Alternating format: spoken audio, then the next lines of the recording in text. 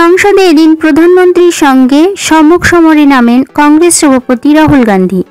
একের পর এক ইস্যুতে প্রধানমন্ত্রীকে কাঠগড়ায় দাঁড় করিয়ে তিনি টিডিপির পাশাপাশি এখন অনেকেই জুমলার শিকার বলে কটাক্ষ করেন।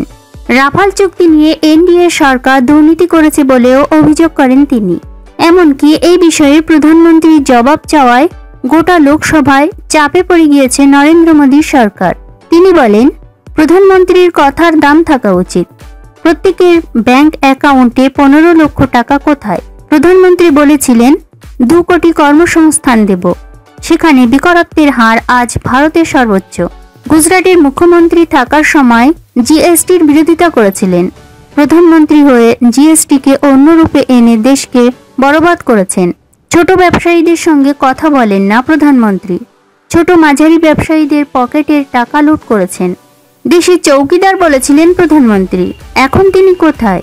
রাফাল চুক্তি নিয়ে দুর্নীতি রয়েছে বলে অভিযোগ করেন কংগ্রেস সভাপতি। স্বয়ং প্রধানমন্ত্রীকে কাঠ করায় তুলে তিনি দাবি করেন, ধনী শিল্পপতিদের সঙ্গেই শুধু কথা বলেন প্রধানমন্ত্রী। আমি ফ্রান্সের প্রধানমন্ত্রীর সঙ্গে কথা বলেছি। কার সঙ্গে চুক্তি হয়েছে জানেই না ফ্রান্স? রাফালের দাম কত? কেন বলছেন না মোদী সরকার? দুর্নীতি লুকোতে দাম বলা হচ্ছে না। চুক্তির বিষয়ে জানত কি নিরাপত্তার ক্যাবিনেট কমিটি? ফ্রান্সের সঙ্গে কি চুক্তি হয়েছে? জানান। চুক্তির মধ্যে গোপনীয়তা নেই বলেছিলেন প্রতিরক্ষা মন্ত্রী। প্রতিরক্ষা মন্ত্রী মিথ্যে কথা বলছেন। না হলে ঘনিষ্ঠ এক ব্যবসায়ীকে রাফালের বরাত কেন? উনি দেশের চৌকিদার নন, ভাগিদার। বিজেপির সর্বভারতীয় সভাপতি অমিত শাহের ছেলে রোজগার ষোলো হাজার গুণ বেড়েছে বলে সংসদে দাবি করেন রাহুল গান্ধী। প্রধানমন্ত্রী গরিবদের কথা ভুলে গিয়েছেন। এই সত্য কোনোভাবে বদলানো যাবে না বলে দাবি তার।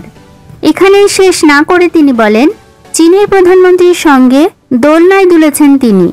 ডোকালাতে সেনাবাহিনী চীনকে জবাব দিয়েছে আর প্রধানমন্ত্রী সেনাবাহিনীকে ঠকিয়েছেন। পাশাপাশি কৃষকদের ঋণ মকুব না করে শিল্পপতিদের আড়াই লক্ষ টাকা করে মকুব করেছেন। রাহুল গান্ধী যখন একের পর এক তীরবিদ্ধ করেছেন প্রধানমন্ত্রীকে তখন বিজেপির সাংসদরা সভায় তুমুল হৈহট্টগোল করতে শুরু করে, যার ফলে বারবার সভার কাজে হস্তক্ষেপ করতে হয় স্পিকার সুমিত্রা মহাজনকে। তবে এদিন রাহুল গান্ধী বক্তব্য রাখতে গিয়ে বলেন, প্রধানমন্ত্রী হাসছেন, কিন্তু ভেতরে টেনশন কাজ করছে। আমার চোখে চোখ রাখতে পারছেন না প্রধানমন্ত্রী, গোটা দেশ সেই ছবি দেখতে পেয়েছে।